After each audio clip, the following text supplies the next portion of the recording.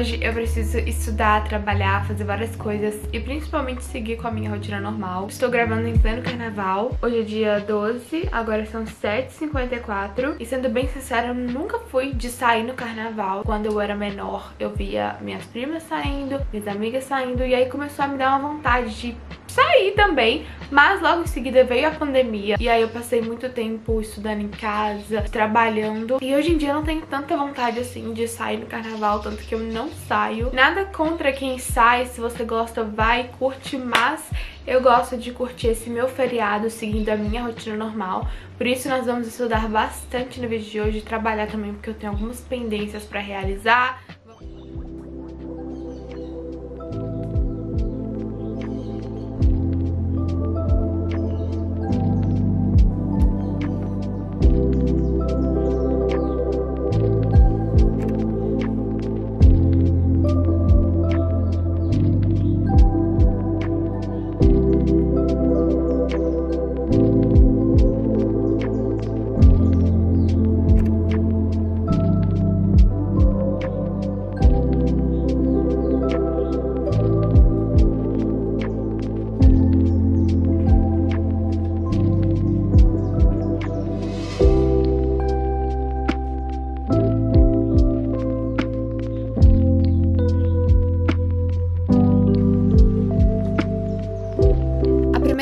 virada de chave que eu tive foi literalmente colocar um horário para eu estudar. Você viu que eu coloquei o despertador, mas você pode colocar no seu cronograma, no seu planejamento, no na sua agenda. E aí eu comecei a ler um artigo sobre comportamento humano, mas em inglês, porque para quem não sabe, eu fiz um intercâmbio para Vancouver, eu desenvolvi bastante o idioma, consegui me comunicar de uma maneira maravilhosa. Só que acabou que eu não tô praticando tanto. Então esses dias eu estava refletindo, como que eu posso praticar esse idioma, mas sem que eu tenha que usar um tempo só para isso, porque querido ou não, o inglês não é mais uma prioridade na minha vida igual antes. E aí me veio a ideia de começar a ler artigos de início fáceis e depois eu vou dificultando em inglês e artigos que tenham a ver com coisas do meu trabalho, que é neurociência, hábitos, comportamento humano, como o cérebro funciona. E assim, essa foi uma ideia tão boa, porque ao mesmo tempo que eu estou aprendendo sobre esse assunto que é da minha área, eu também estou praticando o idioma. E o segundo ponto, que é bem conectado com isso que eu falei, é você ser realista sobre o seu estudo, do que adianta você querer acrescentar coisas mirabolantes para você estudar, se é aquilo que você realmente precisa estudar você não está estudando, se aquela matéria que realmente vai te dar maiores notas,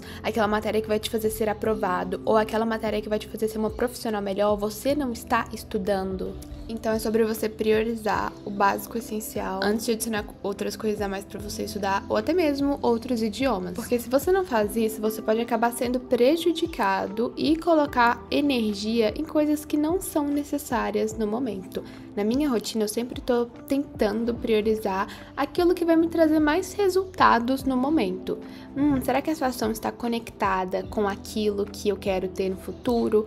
Ou com aquilo que eu quero fazer. Até porque já me ocorreu muito de eu acabar gastando a minha energia com outras coisas. Um exemplo, quer um exemplo? Vou te dar um exemplo. Teve uma época que eu cismei que eu queria estudar, acho que era espanhol. Tem até uns vídeos antigos que eu mostro a minha rotina e tal. Mas depois eu parei pra pensar, cara, eu tô estudando inglês, espanhol e eu tenho várias outras coisas para fazer. Ao invés de eu alocar a minha energia no espanhol agora, vamos deixar para colocar no futuro, caso eu queira fazer uma viagem, sei lá, para Espanha, para um lugar que fala desse idioma. Vamos focar em outras coisas no momento.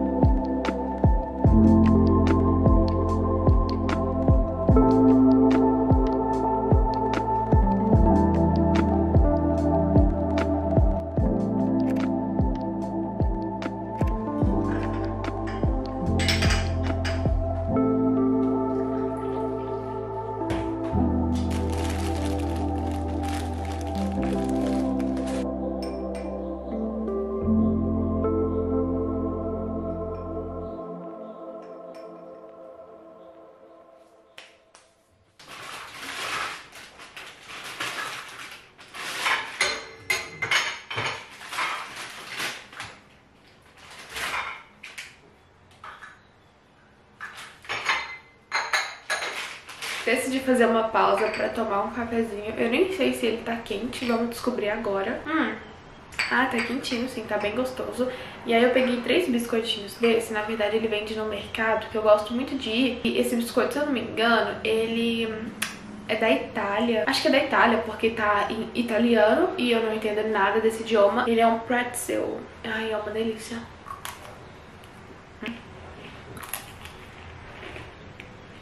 O artigo de hoje que eu li foi muito interessante porque falou sobre oito hábitos que podem acrescentar até 20 anos mais na sua vida. Ou seja, se você tiver esses oito hábitos, você pode viver até 20 anos mais que uma outra pessoa. E para isso, eles estudaram pessoas de 40 a 99 anos. Se não me engano, 40% das pessoas que não tinham esse hábito morreram. Mas, enfim, eu posso trazer mais detalhes no vídeo se vocês quiserem, porque eu achei super interessante.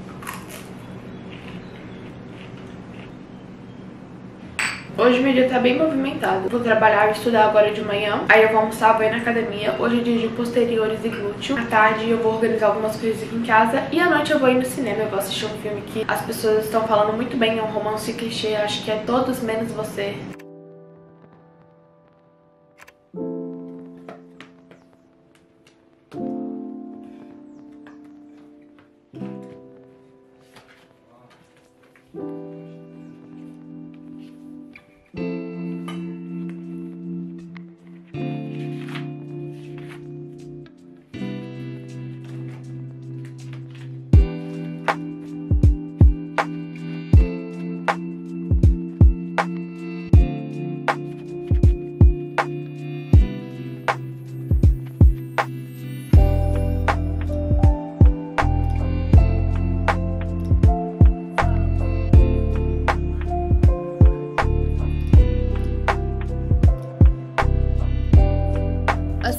Que de ler meus artigos, eu fui arrumar a mesa porque eu tinha que assistir uma videoaula e era uma videoaula bem longa, então eu decidi fazer isso no meu segundo bloco de estudos. Nessa manhã, eu acho que eu consegui fazer só dois blocos de estudos mesmo. Aí eu estava postando um story que eu tinha gravado estudando e tal. E era uma videoaula mais relacionada ao meu trabalho, tanto que você vai ver que eu peguei muito celular porque eu estava analisando um site meu, que é o site do Guia do Ano Produtivo. E ter passado esse carnaval estudando, trabalhando e focando na minha rotina foi a melhor coisa que eu fiz. Porque eu sinto que quando eu passo meus feriados produzindo ou descansando, que é o que eu sempre faço, parece que eu ganho tempo, sabe? Parece que eu adianto a minha vida. Eu lembro que, como eu falei no início do vídeo, teve uma época onde a minha rotina não era nada focada em mim. Eu seguia todos os Instagrams de fofoca possíveis, eu vivia assistindo é, séries e focando na vida dos outros, eu era fissurada assim no BBB. Eu acompanhava tanto que às vezes em tempo real as câmeras da casa. Eu lembro que teve uma época assim, eu vivia no Twitter para saber quem seria a próxima pessoa que eles estavam falando ou as notícias. Por muito tempo eu tive medo de que se eu não soubesse de todas essas coisas, eu iria estar desatualizada e por algum motivo isso iria me impactar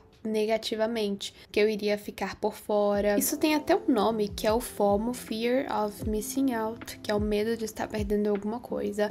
Mas depois que eu fui eliminando, vamos dizer que esse vício, aos poucos, hoje em dia eu agradeço, porque eu não sei, assim, nada do que tá rolando em relação a pessoas, assim, nossa, super famosas, ou quem ganhou o quê, quem fez o quê, não sei de nada.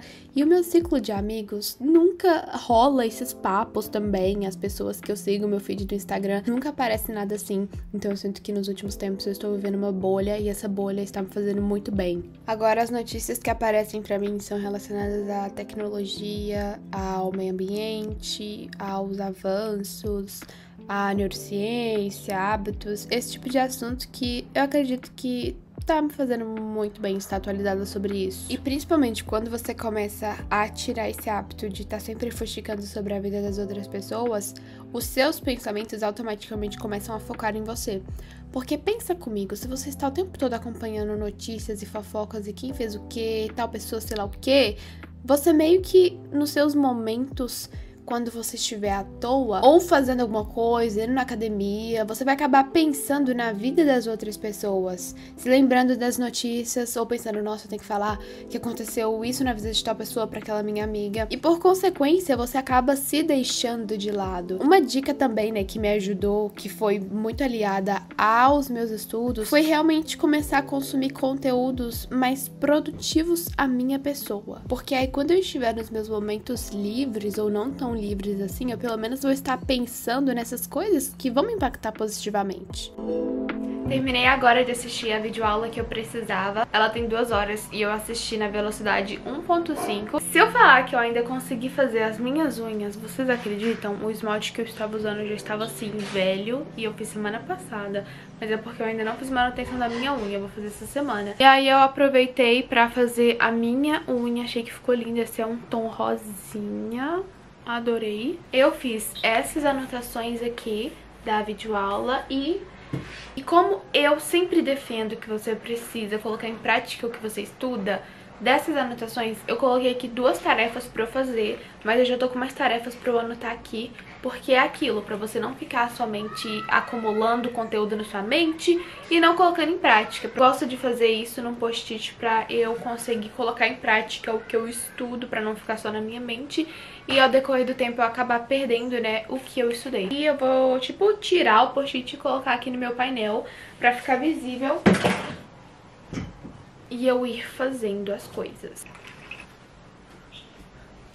Agora que eu finalizei essa minha parte de estudo intelectual, eu vou me arrumar pra ir na academia. A minha academia vai ficar aberta até duas da tarde, então eu quero almoçar, já me arrumar e sair até no máximo meio dia e meia pra conseguir fazer o meu alongamento, a minha mobilidade e o meu treino com calma. Desde quando eu acordei, a minha roupa já está separadinha aqui no meu sofá pra não correr risco de acabar procrastinando. E eu ainda preciso ler um pouco do meu livro, que ele tá ali, só que eu vou ler depois do almoço, que depois do almoço eu gosto gosto de fazer uma pausa, ficar mais tranquila.